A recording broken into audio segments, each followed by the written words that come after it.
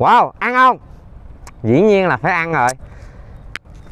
Thưa các bạn, đây là một con xe XSR một con xe cũng khá là hot trong cái thời gian gần đây có rất là nhiều bạn à, rất là thích chạy cái mẫu xe này, tại vì cơ bản theo như mình thấy nó là cái mẫu theo kiểu form classic.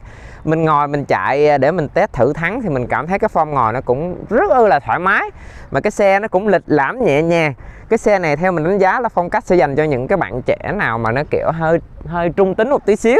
Không quá mạnh mẽ, cũng không quá theo kiểu là hầm hố, mà một cái gì đó lịch sự, classical thì chúng ta sẽ chọn cái dòng XSR này.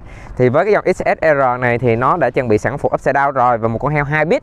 Nhưng mà để mà tăng thêm tính an toàn thì không thể nào mà thiếu được một cái à, set combo một cái set heo nâng cấp cho nó. Đây chính là con heo à, Brembo M50. Đó một con heo Brembo M50 kèm theo bát CNC đi kèm là nguyên một bộ dây dầu Acostato nha. Đó dây à, quên cái này là dây heo nhưng mà bấm tắt Acostato dây heo màu đỏ. Rồi cái à, cầm cùm là cùm à, rambo Brembo 15 RCS đi kèm với lại bình dầu khói à, rambo Brembo nắp đồ chơi bên kia thì là một cái cùm côn TWM một cái sự nhẹ nhàng thôi để cho chúng ta có thể cảm giác là cái tay côn nó nhẹ nhàng, một cái sự thắng thật là an toàn, là quá ok rồi.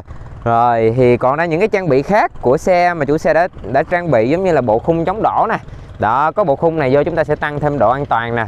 Rồi có thêm một cái bô nhẹ nhàng. Và dĩ nhiên là phía đằng sau khi mà trước đã làm thì không thể nào làm thiếu phía đằng sau. Phía đằng sau thì à, chỉ muốn zin nhẹ nhàng thôi thì mình đã quyết định là mình à, phay à, logo Brembo lên. Và sau đó là thêm sợi dây dầu heo, bấm tắt Accosto vô thôi. Là đẹp.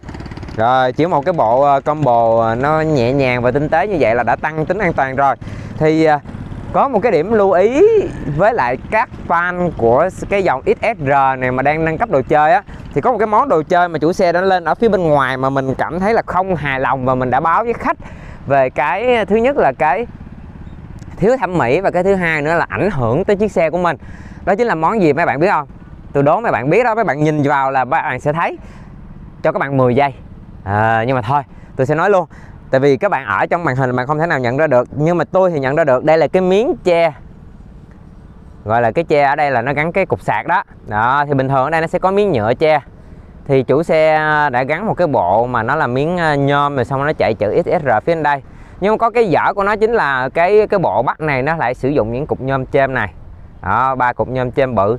Thì thật ra thì ba cục nhôm chêm bự thì nó về thẩm mỹ thì nó không có được đẹp lắm nhưng mà cái quan trọng á, cái chuyện đẹp hay không đẹp nó không có đáng nó nhưng mà cái quan trọng nhất là nó sẽ bị ảnh hưởng tới phần góc lái. Đây, khi chúng ta sử dụng cái bộ này á, chúng ta bẻ góc lái chúng ta sẽ bị đụng ngay cục nhôm này. đó, đụng ngay cái bát này luôn.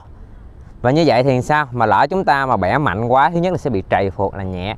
Nếu mà chúng ta còn bẻ mạnh hơn nữa, lỡ giống như những cái gì đó va đập hay gì đó mà cái phuộc đập mạnh hơn, nó sẽ bị móp vỏ phuộc. Mà hiển nhiên cái vỏ phuộc phần này là cái phần mà phuộc bắt đầu nó chạy lên.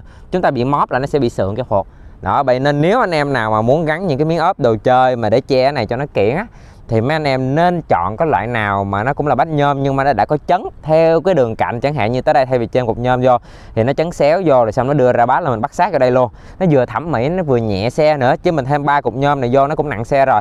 Phía trên đây cũng vậy, thay vì nó đi thẳng ra vậy thì nó sẽ chấn xéo xuống rồi nó bẻ ngang ra. Thì dĩ nhiên là sẽ không bị gì, chứ còn hiện giờ là cái xe này vừa bị hẹp góc lái đó, nó vừa bị hẹp góc lái mà nó vừa dễ gây hư phuộc nữa. Rồi, ngoài ra mình đã xử lý, mình gắn thêm cái kiến chắn gió. À nãy giờ mình quên ha. Đây toàn bộ cái này là mình làm thủ công nha. Đây là hai cái bát để mà mình làm bắt cái kiến chắn gió cho nó. Các bạn thấy là hay không? Đó, sau khi mình làm hai cái bát lên, mình đã sơn tĩnh điện cho nó. Và đây là đã gắn vô một cái rất là khích khịch phên. Bắt vô là fit. Rất là play luôn á. Đó.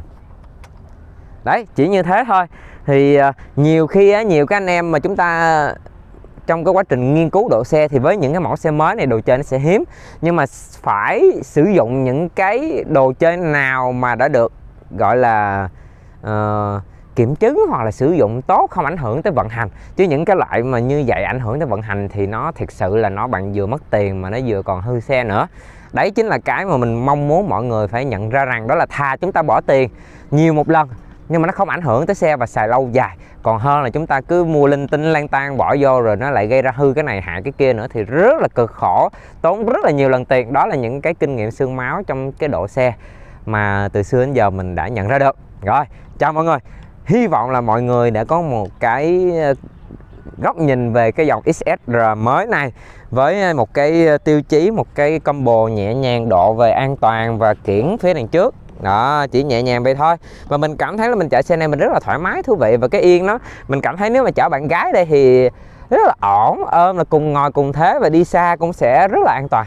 Theo kiểu là cho người đằng sau cảm giác là an toàn tại vì nó ngồi ngang với người lái mà. Rồi, chào mọi người.